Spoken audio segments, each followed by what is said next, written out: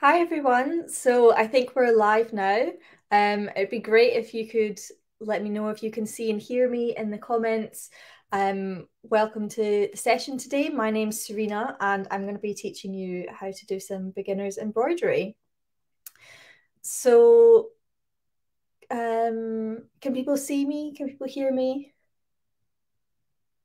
Hopefully my Wi-Fi is working. Um, yep, so I'll just I'll just get on with with what we need to do today. So, um, as I said, I'm going to be teaching you how to do some embroidery this evening.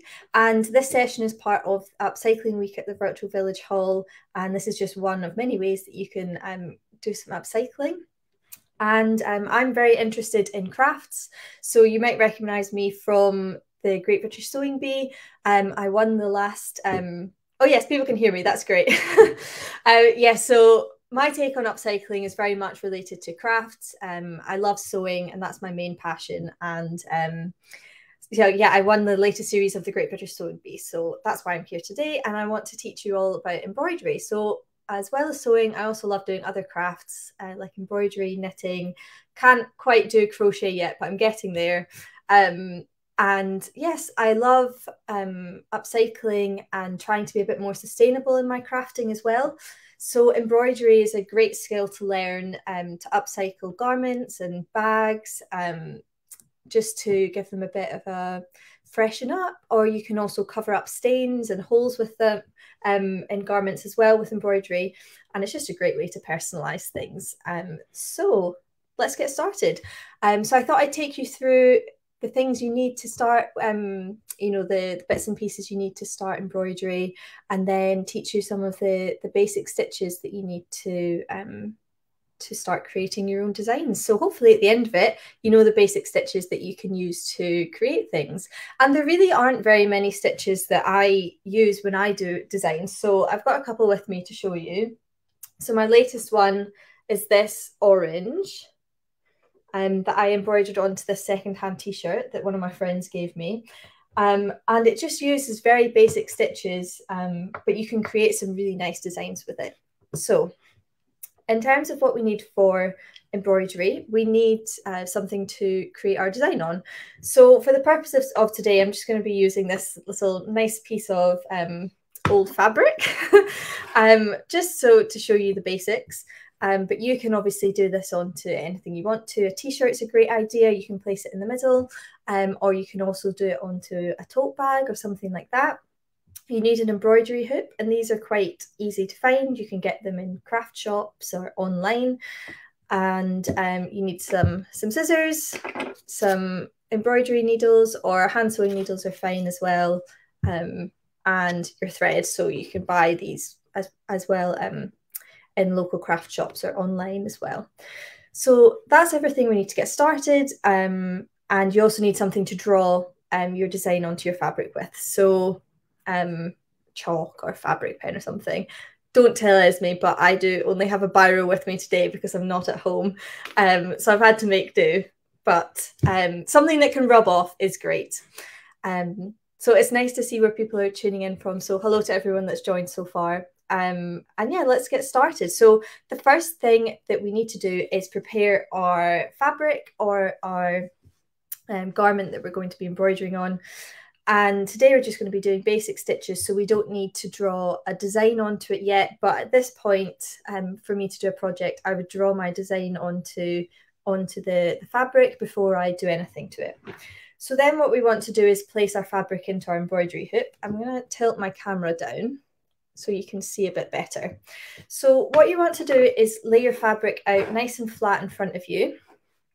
Mine, um, mine should should should have been ironed, but I didn't. So we move on.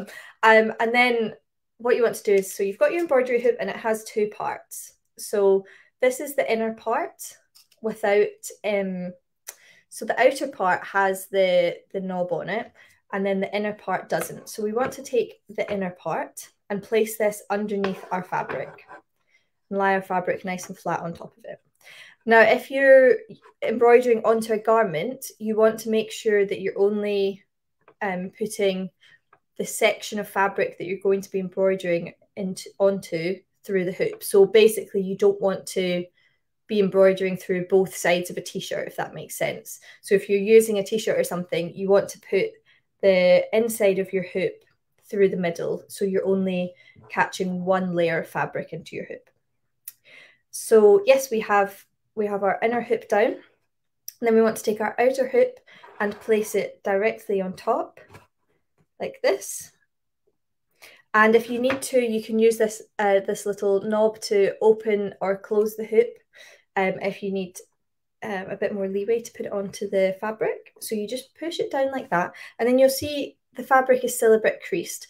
So what you want to do is start tightening the hoop using the knob.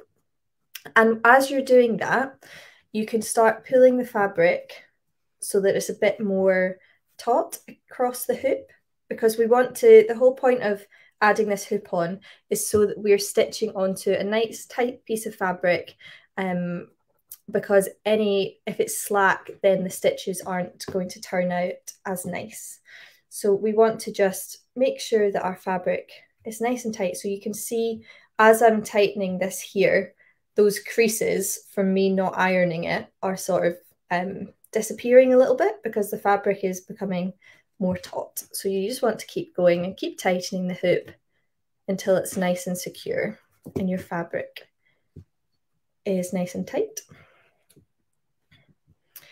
Um, do people have much experience with embroidery or hand sewing? I know this is an embroidery uh, beginner's class, but um, it's also applicable to people who have a bit of experience. So um, if people do, that's absolutely fine. Everyone's welcome and hopefully you still enjoy. So now we should have um, our fabrics in our hoop and you can see it's nice and flat. Let me move my needle so I don't cut myself.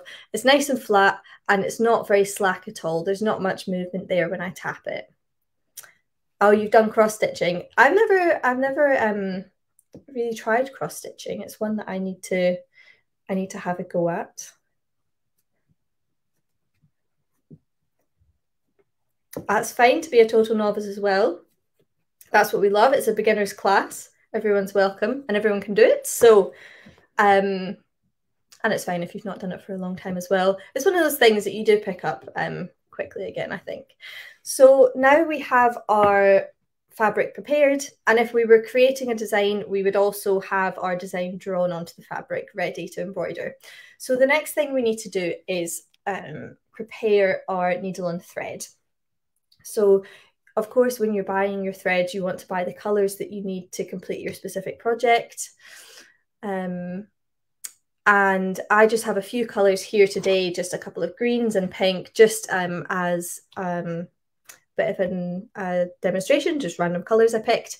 So with embroidery thread, it's a bit different to thread that you would, um, you know, put in a sewing machine. So it's quite thick and it's made up of individual strands um, and there are usually six strands in the thread.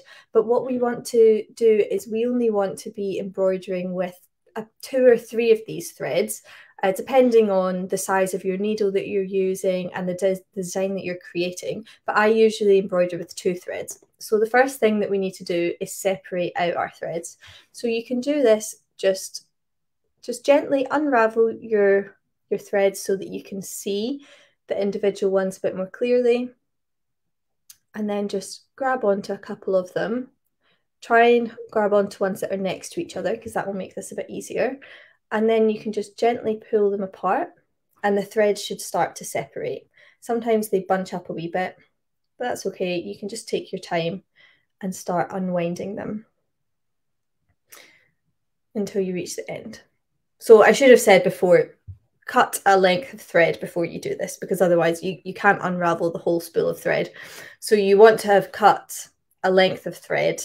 Um, people say about the length of your arm or something like that. And then you want to unwind it. So now we have just two strands of the embroidery thread and this is what we're going to be sewing with. So the first thing we need to do is thread it into our needle. Um, sometimes this can be a bit tricky. So a good thing to do is take a nice sharp pair of scissors and snip the end to make sure it's nice and clean. And you can also wet the end with a bit of saliva if, if you need to, to get it through the end of your needle. Sometimes it can be a bit a bit tricky, but luck has uh, I've been lucky today, so I've been able to thread mine quite quickly. But especially with embroidery thread, sometimes it takes a few goes, but that's fine. And then on the other end of our thread, um, we want to create a couple of knots on top of each other, and this is going to stop the design from unraveling, basically. So just create a couple of knots right on top of each other. There you go. Can you see that?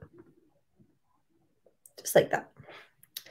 So now we have our thread and you just want to double back the thread just by about 10 centimeters or so. And this is just going to prevent it coming um, out of the needle when we're doing our design. And then at the other end, we have our knot. So now we've got our fabric ready, we've got our thread ready, and we're ready to go. um, yes, so uh, the first thing we're going to be doing is the most basic stitch. So we're going to be learning how to do a running stitch. Um, so this is very easy. And we're just going to practice uh, the first few stitches we're going to do are all stitches that form a line. So we can just practice these um, straight onto our hoop. I think it's it's fine not to draw not to draw a line on. It's quite good practice actually to try and um, keep the stitches straight if you can. So we're going to go in from the back of our hoop. So this part of the hoop with the, the knob on that's visible, this is the front of our design. So we're going to be going in from the back and you just want to bring the needle up at any point. We're just practicing, so it doesn't need to be perfect. It can be anywhere on your hoop. And then we want to insert the, the needle. Um, we're going to be trying to form a, bit, a straight line. So we want to insert the needle back in about a centimetre away. So we've created one stitch. And then we're now at the back of our fabric. So again, we want to insert the needle about a centimetre away, keeping as straight as possible, which is a bit difficult when you're holding the hoop away from your face. So now you can see we're starting to, we formed a gap with that stitch and then we want to continue our line. So putting uh, the needle in again about a centimetre away. And we just want to keep doing that. And we want to try and keep the stitches as even as possible. And the line as straight as possible if you can. And again, you can vary the length of these stitches. So I said about a centimetre, but that doesn't have to be exact. You can make it them a bit longer or a bit shorter.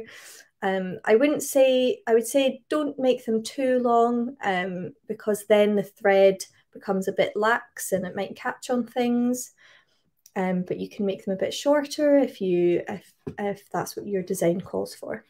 So let's just practice this stitch um, just for a couple of minutes, just to get used to um, threading the needle and um, moving it in and out of the fabric. So again, we're just trying to make them as even as possible, going in a straight line.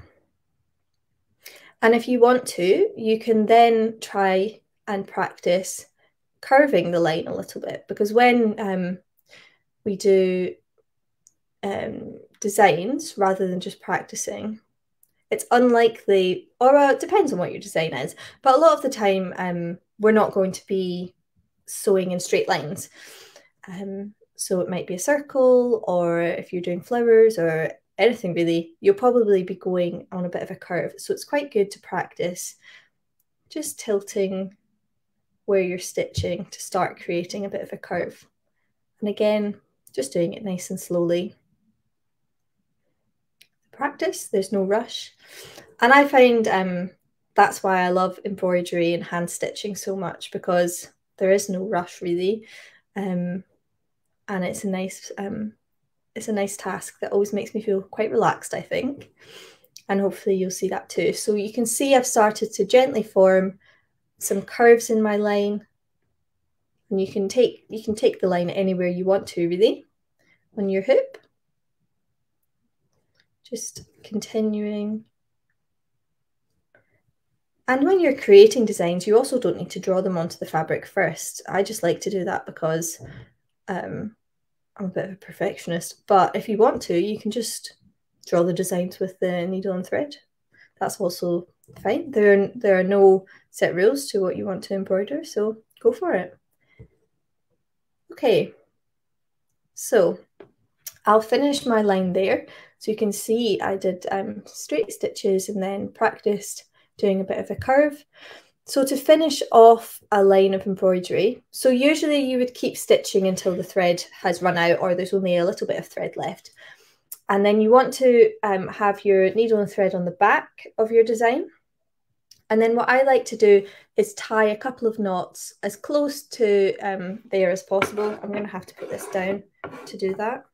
But you'll be able to see you can use the needle and the spare bit of thread to tie a couple of knots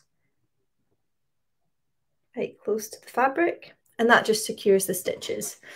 And then with the spare thread, you can um, use some of the stitches in the back of the design to tuck um, the spare thread into. And that's, of course, easier when you have more design going. And once you've done that, you just want to take your scissors and snip the thread really close. And you've got a nice tidy back. And then at the front, you've got a nice neat line um, with no visible raw thread. So that is a running stitch. And that's a really good stitch um, to use to outline things or to start creating designs. Um, it's great for leaves and things like that if you want to do something um, botanical. Um, how's everyone? How's everyone getting on with their running stitches? Do you need a bit more time to practice, or how are you how are you finding um, practicing the stitches? Sometimes it takes a bit of getting used to um, before you feel more confident to do designs. But that's what um, this session is for, practicing the basic stitches. So hopefully people have got the hang of the running stitch. And these sessions um, will also be available to watch back in time as well. So um, if you want to listen to the explanation again, you can go on to the Virtual Village Hall Facebook page and YouTube, and the session will be there. So you can go back and watch it again if you want to. So that was our first stitch. So we're going to move on now and we're going to learn how to do a back stitch. And again, this is a stitch that creates a line of your design. Uh, so it's also really great for outlining and um, to create the basis of your design. So again, you want to prepare your thread, you want to double double the thread back a little bit and tie a knot, a couple of knots in the end of it. So in order to backstitch, the first thing we need to do, so we've prepared our thread and we go in from the back of the fabric. And again, you can just come up anywhere in your hoop. And the next thing you do is insert your needle. Again, I'm going to use about a centimetre stitches, but you can vary that depending on what you want it to look like. Oh, that's a good idea, um, Lisa. Um, just watch now and then, then have a go later on. That's a good way to do it. Um, so the first thing we've done, we've made one stitch and our needle's at the back of our fabric. So then we want to come up about a centimetre away. Let me make sure. Like that. And in order, so, so the back stitch creates a continuous line, whereas the running stitch has gaps in it, the back stitch is going to create a continuous line with no gaps. So what we want to do now is we want to move our needle backwards on the line and insert it right next to where the first stitch ended. And often you can actually insert it into the same gap in the fabric. So can you see there? You're going to um, then create a stitch going backwards and that's going to create a nice continuous line. So then we're going to have to move our needle forward about two centimeters this time so that we come up a centimeter further along our line. Let me just make sure. There we go. And then we just want to keep repeating that. So then we move the needle backwards and insert it into our fabric right next to our previous stitch. And you can see already this is creating a continuous line um, that we can use in our designs. Um, I'm currently this is the only embroidery class that I'm doing, Shona. But if people like it, then that's that's great, and maybe I can do more in the future. That's that's a great idea. Um, that would be quite nice. But yes, yeah, so we just want to continue um, doing our back stitching. Again, practicing um, making this, first of all, we're going to practice making this into a straight line while we get the hang of it. So just continually moving the stitches along and then backwards. And again, it might take you another wee second just to make sure that it's nice and neat and that you're going directly next to the previous stitch. But I always find with embroidery and hand stitching, it's worth taking the extra bit of time on to make sure that it's um, that it's nice and neat because you'll be much happier with the end result, I think. And of course, this technique uses a bit more thread than the running stitch just because we're continually going backwards and forwards. So you might find that um, you get less design out of the same amount of thread. Um, that's just the way the way it is.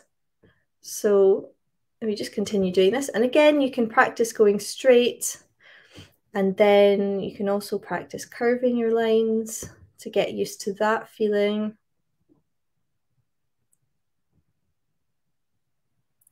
I'm interested to know if anyone has been to any other virtual village hall um, upcycling week classes yet during this week. We're early on in the week, so I think there's a lot, um, a lot coming up. But it looks like there's loads of really interesting things to go and to go and learn how to do. So again, just practicing curving the line a little bit.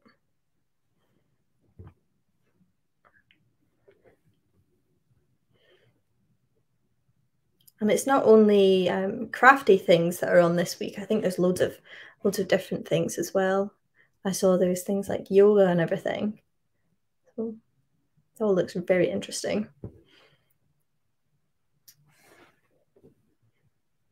So how are people finding it? Oh, the printmaking class. Cool. Was that fun? That sounds that sounds like something I'd quite like as well.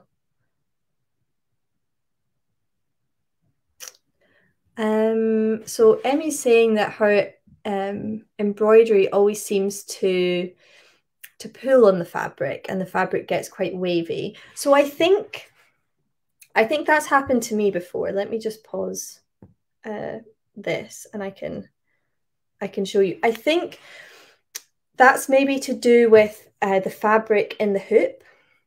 So I find that you need to pull the fabric quite tight so it's nice and flat and and tight on the hoop. Otherwise what you're describing happens and the fabric becomes a bit wavy because there's not that tension to hold it. Um, whereas if you have the hoop nice and tight when you push on the fabric there's nowhere for it to go. And um, because of that it stays flat and tight while you're doing your design does that make sense? So I think maybe you just need to try and pull the fabric a bit tighter in the hoop um, in order for it to stay. And also, it's easier doing embroidery on non stretch fabric as well. So, doing it on stretch fabric is a little bit different. Um, and you probably need to interface it first so that it can stay still, basically, because we, we essentially we don't want our fabric to move at all. So, um, maybe just try pulling it a bit tighter in the hoop and see if that does anything. And um, as you say, it could also be um, you're pulling on the threads a little bit too tight. Um, but that, that's um, it's just getting used to your fabric and all the stitches and everything. So maybe a mixture of pulling the fabric a bit tighter on on the the hoop and pulling the thread a bit less tight. That might sort it out. So again, um, when you're finished with that row, you can see here, um, it's a nice um, continuous line. And again, you can practice the curves. And then you want to tie a knot in the back again, just to secure it. And you can tuck that spare thread into the stitches of the line, just to keep the back of the project nice and tidy. Okay, good good luck, Emmy. I think it will be fine. You just need to practice um, and get used. And it's also a bit different if you're using different fabrics and things. So sometimes it just takes a bit of um, a few attempts just to get it perfect, basically. So, um, Oh, that's good, Shona, that you can see how I was I was wary that um you might not be able to see. So I'm glad that people can see um how I'm forming the stitches because that's of course very important. Um yes. Oh, it sounds like there's lots of interesting classes going on. Okay, so that should be us um, finishing our row of back stitching. Hopefully everyone's had a go at doing that. Um, and again, if you're watching this back, you can pause and have practice it for as long as you want. Um, but for the purposes of the class, I think we should um, move on and try the next stitch. So again, I'm now threading my needle just with a different colour because my previous thread had run out. So again, I've just doubled it back a little bit. And then at the end of the thread, I'm going to tie a few knots um, so we can secure it. So our next stitch is also um, a stitch that's going to form a line and it's called a chain stitch. So this the, these line stitches are sort of building on each other. So the running stitch is the most basic one and then we move up to a back stitch and now we'll be moving to a chain stitch. So again, we've prepared our needle and thread and you just want to come up anywhere in your hoop from the back of the fabric. So I will come up here and then make one stitch again about a centimetre. And this time we're going to move our, we're at the back of the fabric with our needle and thread, and we're going to move our needle backwards by half the stitch length, and then we're going to bring it up to the front of the fabric through the threads of the previous stitch, if that makes sense. So I'm wondering if you'll be able to see if I hold it up closely. But basically, you want to bring the needle up through the threads of the stitch. So you should have two threads forming the stitch. So you, when you bring the needle up, you go between them. And then, so you're, you've come up in the middle of the stitch there.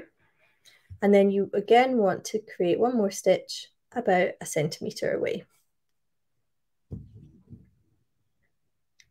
So you're sort of overlapping the stitches by half of the stitch length, if that makes sense. And then again, we want to go backwards by half the stitch length, which again is quite difficult when I'm this far away from it. And you want to bring the needle up between, can you see there? The needle's coming up between the two threads of the stitch. And then you just want to keep doing that and this forms a really nice um, compact line. And I think this looks really good um, if you're creating, I keep referencing sort of botanical embroideries because that's what I create quite a lot. I like um, drawing plants and flowers and things. And I think that this chain stitch is really nice for stems and creating leaves. I think it gives it a bit more texture. So again, you just want to keep practicing that. And this one takes a little bit more concentration just to make sure that your needle's coming up through the stitches. But again, that's that's why I love it. It forces me to concentrate and not think about anything else. Vera said that she's made a colourful patchwork quilt that includes some white squares that my grandchildren have signed. I hope to embroider over their signatures. That's a lovely idea. And these these three stitches will be great for embroidering signatures because um, presumably there'll be um, there'll be lines. So you can you can use any of these stitches to help you create the words. Yeah, that's a lovely idea. So again, we just want to practice going straight. This stitch takes um, a bit a bit longer to do. Um, and then you can practice um, curving the line again. And it just takes some patience and a bit of peace and quiet sometimes, I think. I always find that when I when I do hand stitching, I sort of stop worrying about other stuff and um, stop thinking about everything that I've got to do and I just focus on um, hand stitching. So that's why I, really like it. and that's why I, I really like embroidery. So.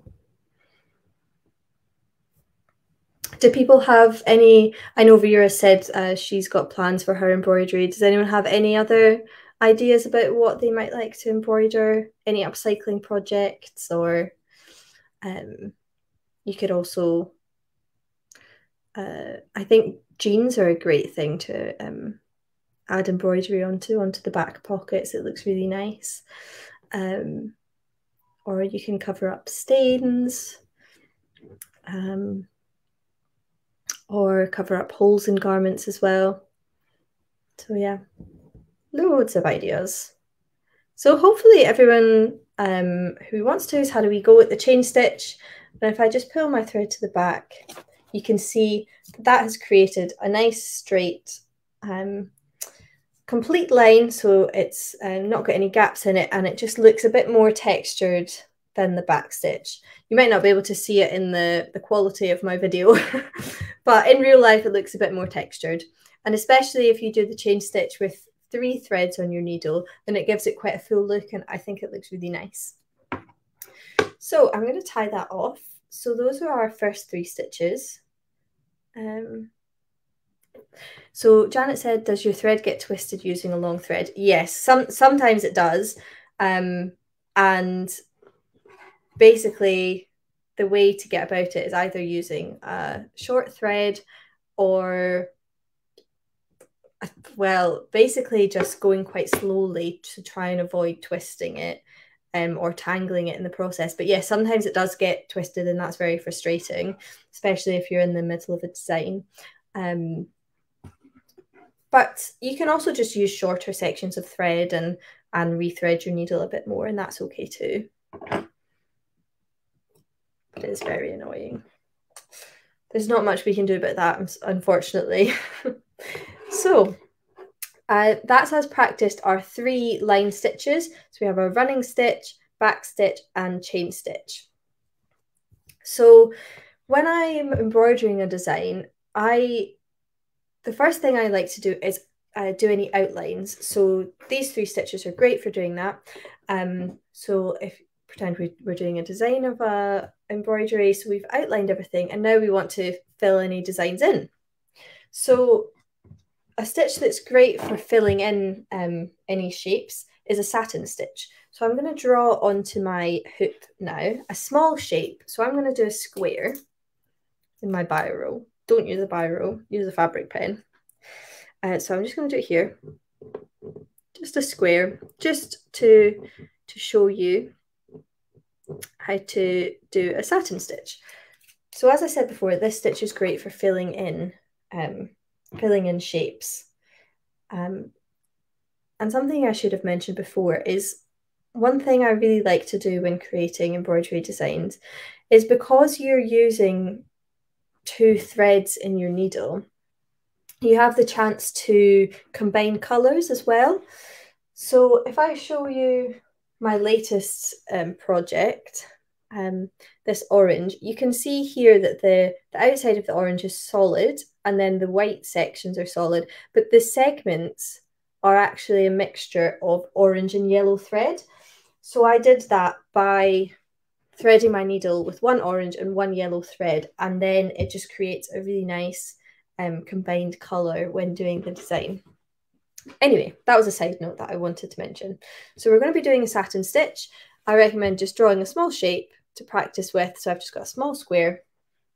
And again, thread your needle, double it back a little bit and add a knot at the end. So the first thing we want to do, we have our square, is come up through the back at one side of the design. So here. And then take your needle back down on the other side of the design. So you can see there, I've formed a pink line across the bottom of that square. And then you want to, on the underside of your fabric, go back to the original side and bring your needle up right next to that first stitch. I'm going to need to, to look a bit closer in order to get it right next to it. But you can see I'm bringing the needle up right next to that first stitch. And then you want to put it back down into the fabric right next to the first stitch as well. So essentially we're forming the stitches just a thread apart in the fab, like a thread of the fabric apart. So you can see there, that's going to form a stitch right next to it. And we just want to keep repeating this. So we go back to the first side, bring our needle up right next to the previous stitch, like that. Take our needle over to the other side, pop it into the fabric. And you can see it's starting to create a nice solid colour. So you just want to keep doing this the whole way along your design. And again, this takes a little bit more concentration just to get it perfect. Yeah, just creating a solid colour. We just keep practicing this. So that's called a satin stitch, and that's a really good way to fill in shapes. So you can outline the shapes first as well, and then fill them in with a satin stitch if you want to, if it makes you feel better, if you just have it um, a bit more set out, or you can do it after you've um, drawn the design on. So you just want to keep going. Again, just taking your time to make sure the threads come up right next to each other and they're creating a solid colour. And you can also, um, you don't have to embroider straight onto a garment or something. You can also um, create more of a um, a decoration for your house as well. So you can you can get a nicer piece of fabric than the one I'm using and um, create a design and then you can keep it in the hoop and add use it as a bit of a wall hanging as well. Or you can take it out of the hoop and put it in a frame um, just to add a nice little bit of decoration to your um, to your craft room. So Fiona said, could you come back up on the same side to save some thread? Yes, so I was going to mention that so that is something you could do and i'll show you i'll show you how to do that so um i'm coming i'm so i'm going down on this side of my my um, design and instead of going back to the first side you can decide to just come up right next to where you've put your needle in and that way you're not continually going backwards and forwards so yes, that's going to save you a lot of thread. I've found with my um, just through practicing it, and don't know, it might just be my technique. Um, for some reason, satin stitch has never been my best embroidery stitch. Um, I found that I get better results when I um, use a bit more thread and go backwards and forwards. I don't know why, um, but I know people do it this way to save on thread. Um, so you're very right. You can you can do it either way It's completely up to you. I find that sometimes if you're coming back up right next to where you've just gone in, you might end up seeing that little thread of the fabric. Um, but again, that it might just be the way I'm doing it. I might be pulling too tightly or something. So that's the basis of our satin stitch. And you can see there, I'm starting to fill in that little square really nicely um, and it's a nice solid colour. And again, you could combine the threads on your needle and um, and colour in um, to mix the colours rather than having a solid one. Um, so then we want to secure and hopefully people have had a, a good go at practicing that. Let me know if, if anyone wants me to slow down or repeat anything as well. I'm more than happy to do that. And so this is a really good example of how you can tuck your spare threads in. So I've knotted my, um, my thread at the back and I'm just going to tuck it into those stitches that I've made just a couple of times and then pull it and then I'm going to cut the thread nice and small and that way the spare end of the thread is nice and hidden, basically, just to keep everything nice and tidy on the back. Especially if you're going to be wearing the garment, so you want it to, you don't want the inside to be a mess, basically. So the last stitch that I'm going to be showing you, um, so Sue said, if you're doing a larger area, would you break it down to two different blocks? Yes. So a satin stitch is great, but you can't do too big of an area because then um, the threads become just too long on the front of the design and they can start catching on things. So you're very right. What you would do in that situation is separate the area into two and then you can do two separate rows of satin stitch. And you can do a different type of stitch called long and short stitch. And basically what that does is so you've got two sides say you're doing a, a, a, rectangle. So you've got two sides of the rectangle and you're going to go up one side first and then back down the other. And when you're going up one side you can decide to do one short stitch and then one long stitch and you can change the length of the stitches that you do and then on the other side of the design you're filling in you can then match those stitches to the length of the, the ones on the other side in order to fill it in and make a solid design, if that makes sense. And that way, instead of it being two solid rows of satin stitch, it's a bit more overlapping and it looks a bit more continuous rather than it being really obvious that it's two separate sections, if that makes sense. So that's actually what I did on this design here.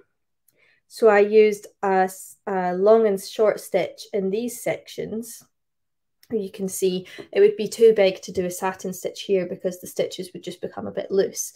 So I did some short and some long, and then on the middle, I would do some short and some long in order to match up to the previous stitches and to create a continuous colour.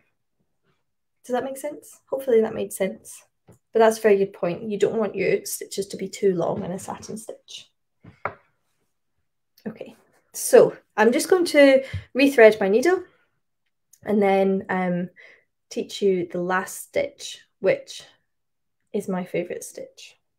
So again, just need to separate my threads.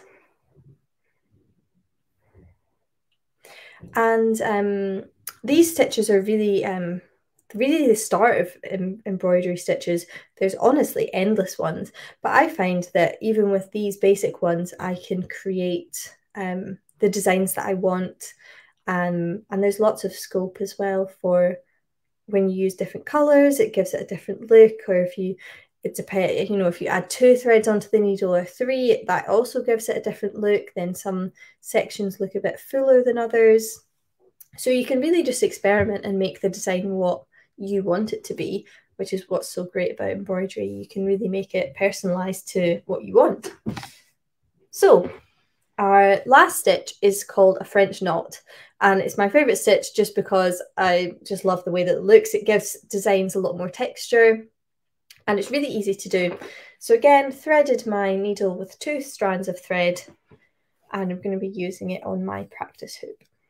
So you want to come up from the back side of the fabric and this one might be a bit more difficult to show you up close to the camera.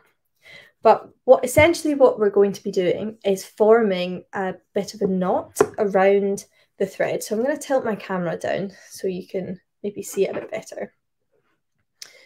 Okay, come over here. So what we want to do is with the thread that you've just pulled up from the from the back side of the fabric, you want to hold on to the the spare threads. And then with your needle, you want to twist the thread around your needle three or four times. I'm going to go three times just to show you. So can you see that there? My thread is twisted around my needle three times. And then I want to insert it into the fabric right next to where I came up. And then you can sort of see it's starting to form. And what we want to do is hold on to the thread gently and then gently pull the needle through. Nice and slowly. And once we pull it through, you can see it's formed a little knot in the fabric um, that just gives it a really nice, really nice texture. Um, and this is this is a great technique to use. So I'll show you one of my designs. Um, other one that I brought with me. So this was on a shirt. I added this embroidery to, and you can see in the middle of the flowers, I've done um, lots of French knots for the middle. I think it, it gave the middle of the flower lots of texture. And then I also added it onto the outside of the design just for extra little bits of um, like a little pop of colour, basically. So yeah, you can just have a go at practicing some French knots. Um, again, Oh, thank you, Emmy. I I embroidered that. Well, actually, I made the shirt as well, and then embroidered onto it. That was one of my um, first lockdown project. so I had a bit more time then to spend on the embroidery. But thank you. And I also wore it on one of the episodes of the Sewing Bee because I was very proud of it. okay. Um, so we can just keep practicing our French knots. And again, this technique just takes a few goes to get used to, just because um, sometimes the thread can become a bit um, tangled and things. So you just want to go nice and slowly at the start to practice. So I'll go over it again. So you want to bring your, your thread up and then you want to twist it around your needle a few times. So basically, the more times you twist it around your needle, the bigger your knot will be. So this time I'll do four. And then you want to insert the needle right next to where it came up. Hold on to that thread, that side of the thread, while you pull the needle through. And that helps prevent it get tangled. And just pull it through nice and slowly. And you've got a little French knot. And I just love the way the French knots look. They make me happy. And um, so again, you can just keep practicing that technique. And then um, you can also use French knots to create, um, you know, to fill in gaps in designs. So you can do loads of them next to each other. Um, that creates a really textured, bobbly look. That's, as I said, is great for the middle of flowers or, um, don't know anything really. You can, I don't, would make a really good sheep, I think, as well. Random thing that I just thought of. Um, so yeah, just taking your time to practice that as you can see, I've managed to get my my threads twisted in the back, so don't do that.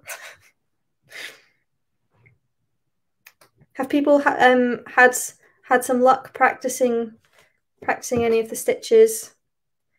Um, people might have just been watching now and then they're going to have a go later. That's absolutely fine as well.